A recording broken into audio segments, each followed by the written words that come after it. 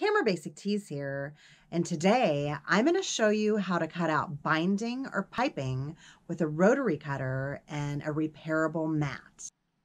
My favorite fabric for binding is Raschel. It's spelled R-A-S-C-H-E-L. And if you type it in somewhere, spell check is going to tell you that it's spelled wrong. Google Raschel and see what you can find. Currently, I'm looking for a sponsor that sells fabric online.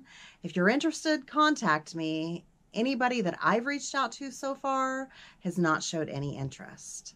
So just Google Raschel. This is a piece of Raschel fabric that I have pre-cut out for my binding. I usually make it 43 inches long and then I just cut off that piece if I want a smaller piece. Now I folded this in half. When I very first started cutting out binding, I would cut it through the whole entire strip and it would made it less even. So I had an employee that worked for me that ended up folding the binding in half. So there's a fold here and I line up the line on where I want to cut.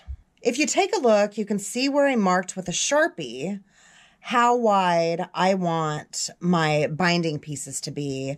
That way I don't have to look for the measurements. They're already there for me every time.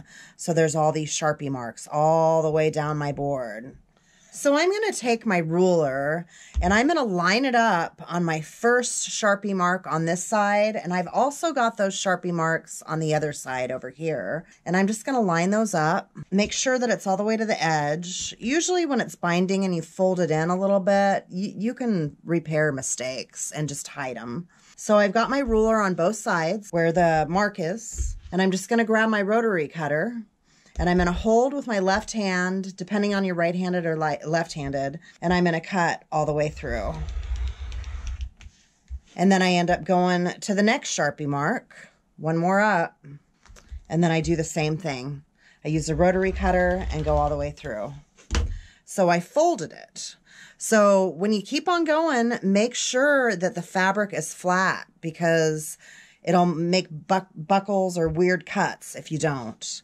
So I'm going to go to the next Sharpie mark. And then I'm going to take my rotary cutter and I'm going to cut it all the way through. Now I tend to lose control the farther up I go, so I usually probably only go to about 11 inches. But you might have longer arms than I have, or you might be taller, so you might be able to do it a little bit farther back and keep on going. So when you're done with that, you're just going to get rid of the ruler and the rotary cutter and you should have a bunch of long binding pieces. So I wanted to talk about the width that I do it also. It is one and three eighths inch. Another thing I want to mention is when you cut it, you need to make sure that it's stretchy the correct way. Because with this Raschel, it's not stretchy the other way, it's just stretchy this way. And you can make your binding pieces as big as you want them to be. I did have somebody ask about making it super, super narrow, but keep in mind that you're going to want to fold that in and you're going to hide this fabric. So even if you want it narrow, you're going to have to have enough fabric to fold it inside to seal that stitch. I hope you found this video educational. If you like what I'm dishing out, go ahead and subscribe.